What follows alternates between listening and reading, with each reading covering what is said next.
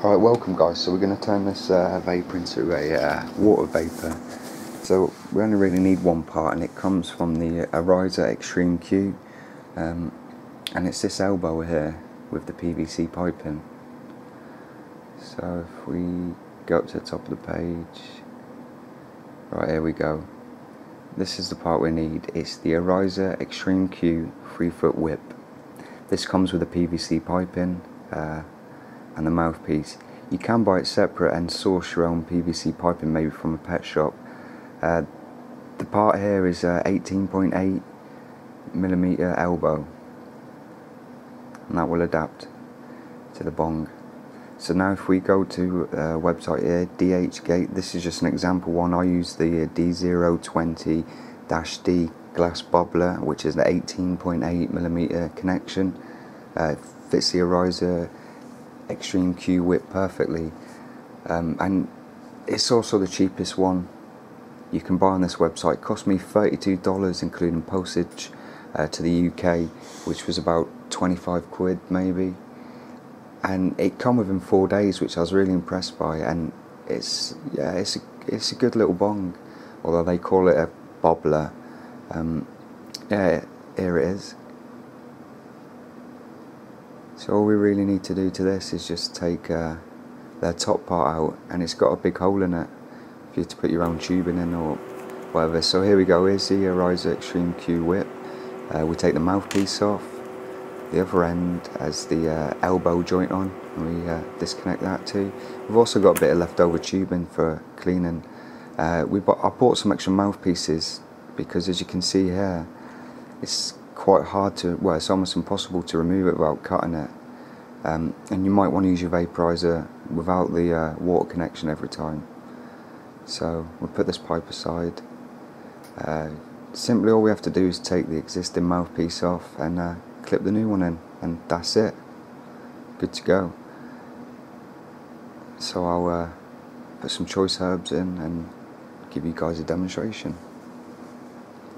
I do love the uh, the the feed us the accessory that comes with this for putting it in is it's amazing. It makes it so easy to load. Okay, so we put the top in, tap it down, lid on, and we're done. Okay. So what I do is I like to put it on this position so I can see the dials as I'm token from it. Okay, so I'll put it at 180 and uh, set that aside and get ready. Okay, so let's have a try. As you can see, the smoke, the vapor's building up. Uh, it's still going into my lungs, and I have to remove the thing to clear it. But oh, nearly knocked over. But as you can see, I didn't hold it for too long to demonstrate, but you get a good good hit from that, and it's it's nice. So uh, this maybe lasted 25 hits or something. I'm quite surprised, and I was getting good totes from it before the smoke disappeared. So I want to compare it to the volcano. Um, I hit the volcano at 190, which was 10 degrees higher than what the water vapor was, and I want to tap them out and just you know compare the two. Um, so I'll scrape all this out.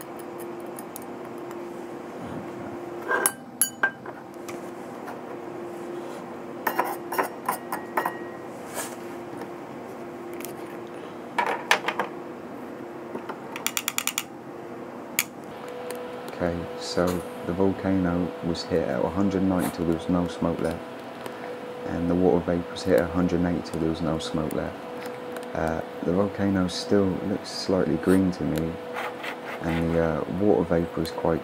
There's nothing left of it. It's just ash, pretty much. Uh, tap them together and freeze frame it, and you can see for yourself. There's a clear difference in the two, and I've had this for a few months now, and one week the uh, volcano stopped working and that's what I primarily used so I had used this for a whole week of only using the water vapor. And after that one week the uh, small rubber seal on the inside here perished and had to be replaced. So please be careful and please be aware that if you're hitting in the smoke coming out it's not necessarily good for the vapor or giving you the THC so when it comes to cleaning all I do is I uh, You see this one I've had for maybe two months and you can't really see any build up. So you don't really have to clean it too much. But what I do is I cut both ends off, throw the PVC piping away. Uh, you see, just cut down this side's the best and run a knife in. And I'll just pop those two bits in the IPA solution and swill them out and leave them to, and just put fresh PVC in. It's that simple. So I hope you enjoy, and I hope I may have been of some help to you again. Uh, enjoy.